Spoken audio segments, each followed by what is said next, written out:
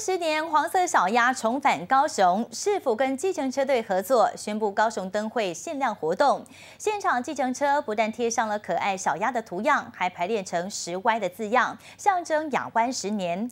那么市府也提前预告，灯会期间只要搭乘计程车车队，就有机会领取限量小鸭帽。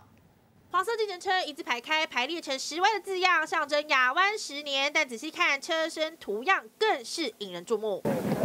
贴上知名画家设计的可爱黄色小鸭图样，暌违十年，黄色小鸭将重返高雄。这回市府也和计程车队合作，在高雄港集合计程车抢先亮相。可以看到，在后面现在这次闪电的元素，还有新的 logo，受到很多民众跟司机大哥的喜爱。沿路当然也被民众注意，不止深受大人小孩喜爱，连外国籍游客也被疗愈一波。韩国籍的游客，然后他看到我的车身，然后来跟我询问说：“哎。”这个是什么活动？小孩会就是在看到小鸭会觉得很开心。黄色小鸭将在二十七号重磅回归爱河湾，未来小鸭计程车将增加到三百台，在街头巷弄惊喜现身。也宣布高雄灯会期间，只要达成就有机会领取可爱小鸭帽，而每辆计程车限量一百顶。把小鸭再回到高雄，主要是要让所有全台湾的民众见证这十年的高雄亚洲新湾区的一个蜕变。在市府的努力下。不止铁路地下化、轻轨动线成员，捷运也将在天黄线，传统产业转型。这回小鸭风潮再度袭来，十年来的蜕变，要让民众感受港都魅力无限。小黄小鸭，